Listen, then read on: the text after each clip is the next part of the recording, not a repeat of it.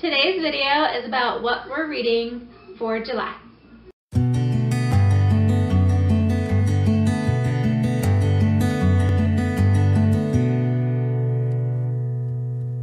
Okay, I'm going to start out with our read alouds that we're reading. Uh, we took pretty much almost all of June off of school and now we're just starting to do a couple things now.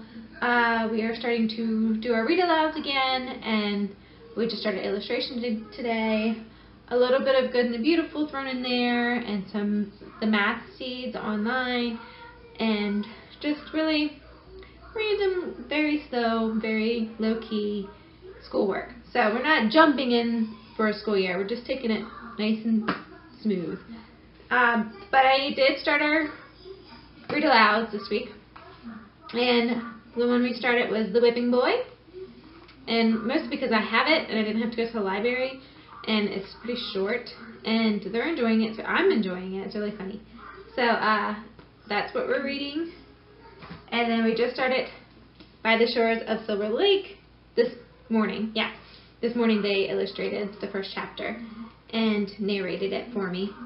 And we're they were really excited about this one because it's been a while since we've read Laura and Mary. So and so sad. I was not expecting that. I never read these before.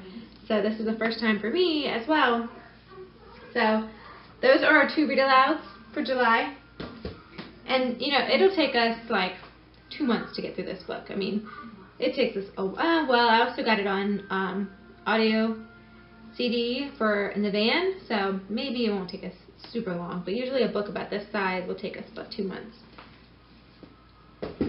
And then, also for, hold on, also for read alouds, these are the read alouds I do during the day, but I also read at night, and our night, our bedtime read alouds are The Children of Noisy Village by Astrid Lindgren. Lindgren? She uh, wrote the Pippi Longstocking books, which I have yet to read, but maybe one day. And like I said, this is very short as well, and it's got short chapters, which we like at bedtime. Uh, I'm also slowly going through The Care and Keeping of You 1. We're about halfway through, so this is good. Uh, it's good for discussions and for learning about our bodies and all that. So we haven't gotten, well, we did, we did breast, but that was kind of like funny they enjoyed, they had fun with that one. But we haven't gotten to the nitty gritty stuff. And I guess they're going to get into that eventually. So that is fun and awkward, but it's what you gotta do. trying not to be awkward about it. Trying to be like super cool mom that you can come to. But anyway, another one we do at bedtime is I read uh, a section out of Horse Crazy, and is I have Horse Crazy Girls, and so I read. It's right now we're at the beginning, and it's just the history of horses, like their evolution and uh, through civil, uh, human civilizations, and how they've evolved, how we have evolved using them. I mean, like um, what we use them for. The Native Americans didn't even have any uh, horses over here, so this is fun to um, read with them. And then, it, I mean, it's not just the history, of course, but then it has like activities in it and games, I think, and about shows and how to take care of your horse. I mean, everything about horses. Projects you can do, crafts. So, that's our bedtime read. And now I'm going to show you what Miette's reading. She's my only reader so far. Kenzie is getting there. She is reading the Bob books and her All About Reading book. And we're still doing, we're doing a mixture of All About Reading Level 1 and Good and the Beautiful. We're kind of intermixing that, them together somehow. Maybe I'll do a video of how I mix them up, but I'm doing both of them at the same time. Good and Beautiful Kindergarten and All About Reading Level 1. And she's doing great. She's really picking it up. And, uh, but yeah, so she's not reading chapter books yet. She's just reading those, you know, little readers. So Miette is reading.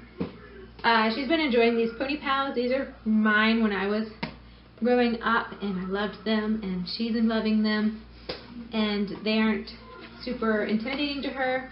They're pretty big, big words, and not super big, but they're still a chapter book, so she doesn't feel like she's reading a baby book, but it does have some illustrations in there, like that. And she can get through these pretty fast, and it's good for her confidence.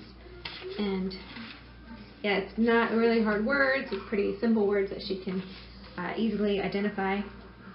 So it's a whole series. I mean, we don't have all of them, but we have a lot of them. And so that is one thing she's reading.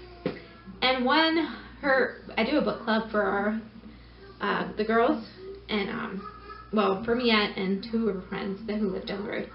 And this book club from we've all, we've got knocked off track with our months, but this past this month's book club is the evolution of Calpurnia Tate, and it's pretty thick, way too thick for me to read. Miette is still a struggling reader, so I was like, okay, well, I'll just read it out loud.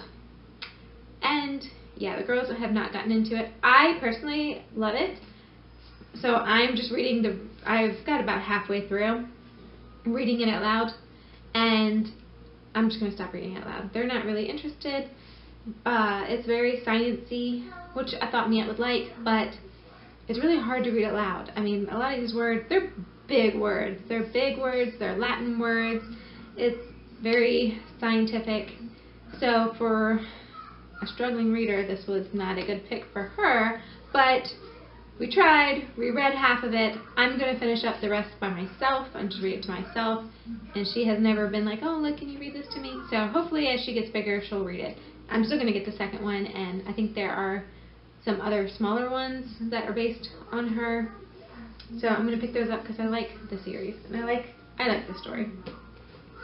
So our next uh, book club pick, we're having our book club next week, and I'm going to take the girls camping just because it's summertime and I want to go camping. And the new um, book club for the next, after this book club meeting, is Tuesdays at the Castle. And so Miette is going to start reading that. It's pretty, I thought it was gonna, actually going to be thinner than this, but I think she'll be fine. I have, I, we just got it in today. And so it's a little tough. It's a little tough, but hopefully she can read it herself. Or if not, I'll ask her if she wants me to read it. And maybe this will be a bedtime read as well. Maybe. And this is a series too. Tuesdays at the castle, Wednesdays at the tower in the tower, Thursdays with the crown, Fridays with the wizard, Saturdays at sea. So it is a series. I like picking series because I like um, a story continuing on, and for her, for any of the girls to be like, oh, I want to keep going with this. So that is what uh, we're reading aloud and reading what Miette's reading, and now I'm going to do my reads.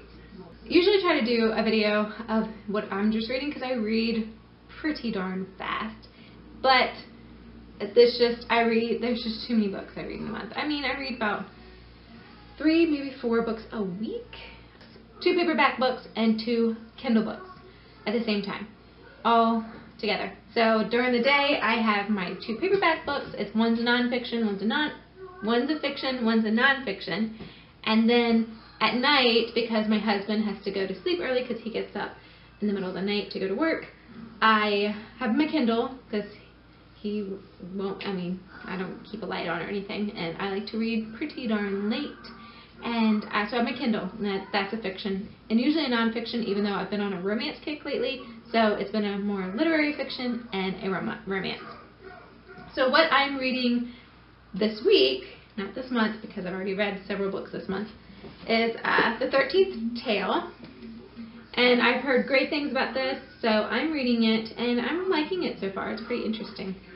The, and then another my nonfiction pick for uh, my paperback is The Happiness Project by Gretchen Rubin. I listen to her podcast, and so I really like her, so I can kind of, as I'm reading it, I'm reading it in her voice, which is funny, but because I listened to the podcast before I read a book, and I just picked this up at the bookstore, or um, used bookstore, so I was happy about that. And then on Kindle, I'm reading, um, what am I reading? Finding Audrey, I think is what, by Sophia Kinsella.